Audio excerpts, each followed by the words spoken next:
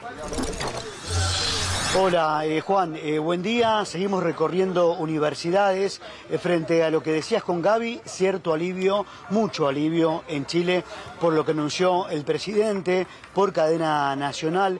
Llegamos a esta universidad para hablar con estudiantes que nos cuenten sobre, sobre Boric, sobre ese anuncio, pero también qué opinan de las tomas en la Argentina, de las tomas en Buenos Aires, el conflicto que hay en nuestro país. Bueno, ¿tu nombre? Amparo. Bueno, Amparo, primero me querías contar lo, de, lo del anuncio de Boric. Claro.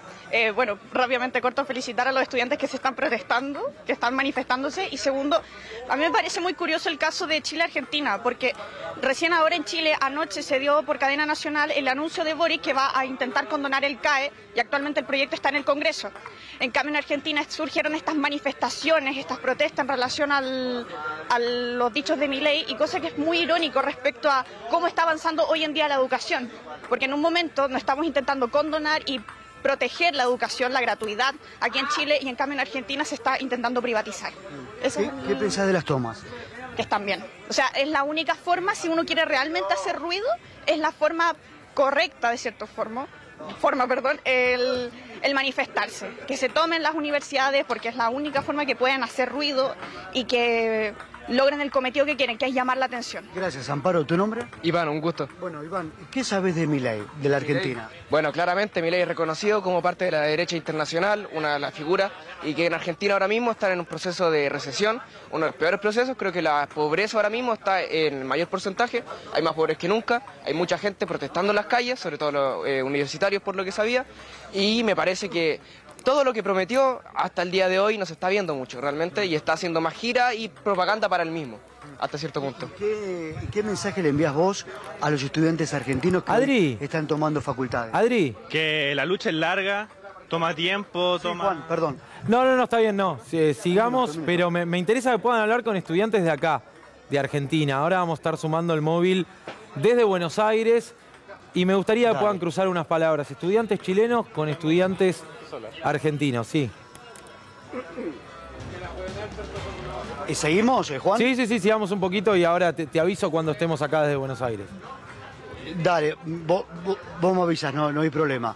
Bueno, tu mensaje a los estudiantes de, que están en Buenos Aires. Que la lucha es larga, toma mucho tiempo, mucho sudor. Yo como estudiante también, durante mis años de colegio acá, viví tomas, viví luchas para conseguir una mejor educación, para conseguir mejores cosas para mis docentes y para mí. Y les digo que no se rindan, que al final del camino van a ver los resultados y van a sentir orgullosos de lo que hicieron. Muchas gracias. Bueno, eh, también ¿no? una frase que, que, se escuchó durante una, una manifestación de los estudiantes en Chile, una declaración directamente a Piñera por ese entonces. Claro, eh, la digo al final. Eh, supe que mi ley vetó la ley de financiamiento universitario, algo que le da mayor financiamiento, sueldos a sus docentes y mayor financiamiento a la universidad. Eh, claramente un golpe súper bajo, porque si no hay salario no hay docentes, y si no hay docentes no hay universidad, claramente.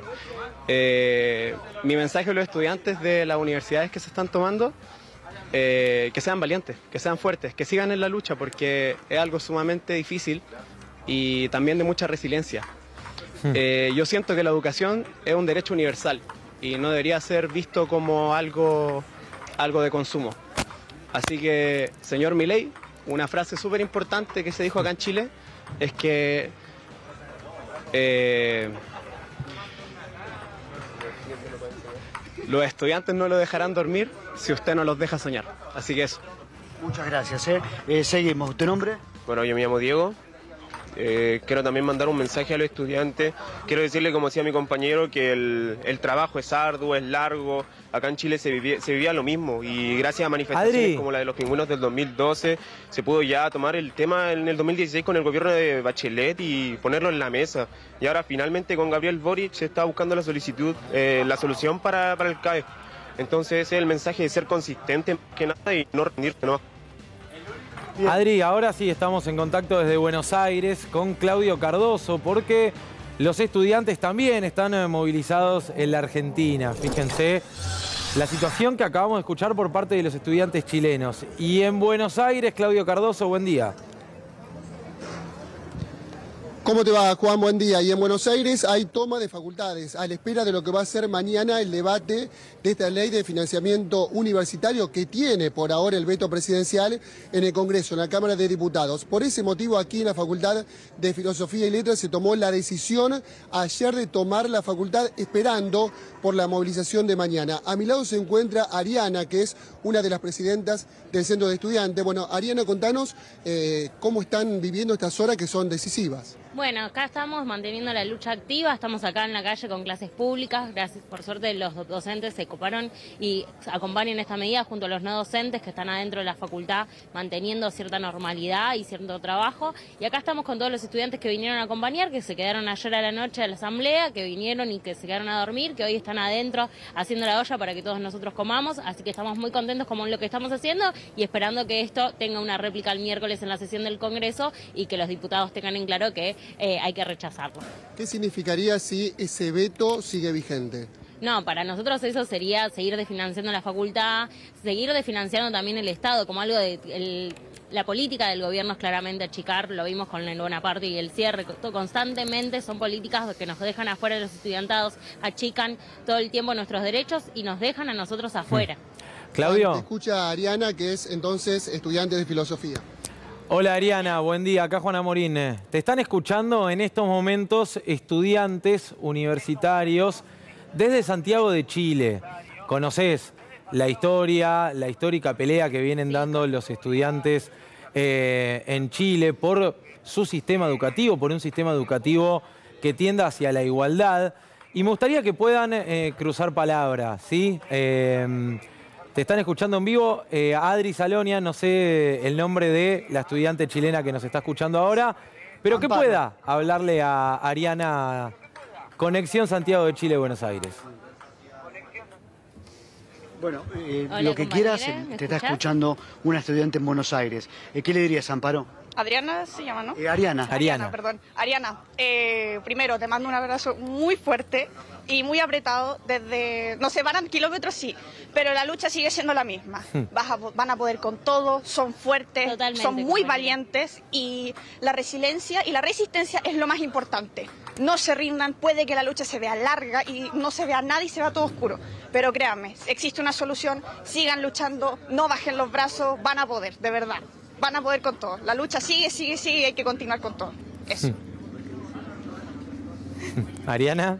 Totalmente de acuerdo, compañera. Desde acá, desde acá mandamos un abrazo muy grande para ustedes también y mantenemos la lucha activa acá y allá en todas las puntas de este país, porque tenemos todos en claro el modelo de universidad que te queremos, de educación. Así que nuestra solidaridad con ustedes y bancamos acá los trapos. Eh, Ariana, te quiero preguntar si vos estuvieras creciendo en la sociedad chilena, ¿vos podrías pagarte eh, tus estudios, tu carrera universitaria? No, la realidad es que no. Yo ahora estoy, actualmente estoy desempleada. Sería imposible que yo pagara mi universidad allá. Este, de casualidad llego a fin de mes y gracias al esfuerzo que hacen mis papás para que yo tenga una, un estudio y pueda egresarme, este, que yo vengo acá a la universidad pública, pero no, claramente en Chile eso sería imposible para mí. Eh, y para muchos de los estudiantes que estamos acá presentes, o sea, hoy por hoy seguimos reclamando por un boleto eh, universitario que, y educativo que nos permita llegar y acceder mejor a la facultad. Este, así que no, la verdad que eh, sería algo imposible hoy en mi vida. y, Amparo, te pregunto, no sé si, si estamos con algún temita técnico, pero te pregunto a vos, cómo funciona hoy. Contale eh, a los argentinos y argentinas cómo funciona hoy el sistema chileno. A ver, eh, primero depende de cada universidad, pero mientras sea del Estado, no 100% privatizada como algunas, mm, las tradicionales, tú puedes obtener beneficios, entre ellos becas, puedes eh, pedir ciertos beneficios y puedes uno postular a la gratuidad, que es decir, que el Estado te paga toda la carrera. Obviamente hay que hacer un papeleo más o menos extenso, hay diferentes métodos de admisión, o sea, de cierta forma sí es posible conseguir no pagar para la educación superior. Hay que hacer procesos largos, sí, pero es posible. Requiere mucho papeleo detrás. Y no, es universal, no, no acceden todos a esa condición. No, depende mucho de tu porcentaje de, de vivienda, depende de tus porcentajes de ganancia, depende si tus padres pueden estar divorciados, La separados. mayoría, eh, Amparo tiene que pagar. Sí, la gran mayoría tiene que pagar. Y hoy en día hay mucho estudiante egresado incluso que está eh, endeudado respecto al, al CAE, que es el crédito aval del Estado. Lo cual hoy en día se está discutiendo para encontrar una solución a ese problema. Eh, Adri, eh, le agradecemos, Amparo, por supuesto, pero me gustaría que otros estudiantes chilenos puedan darle unas palabras a Ariana, que está en Buenos Aires escuchando, en medio de esta lucha por la gratuidad de- la educación pública, en medio de esta lucha por el financiamiento universitario que el presidente Javier Milei vetó y que el Congreso trata mañana en la Cámara de Diputados.